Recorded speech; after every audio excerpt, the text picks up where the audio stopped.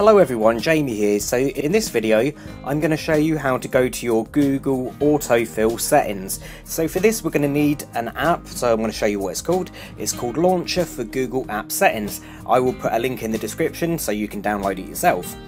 Okay, so we're just going to go onto the app and we're going to click on the uh, center bit that says Google Settings, the one with the spanner in the middle. Okay, and then we're going to get a bunch of options here. So we're going to go for autofill. So I'm going to click on there, and then I'm going to click on autofill with Google, and then we're going to get some options here.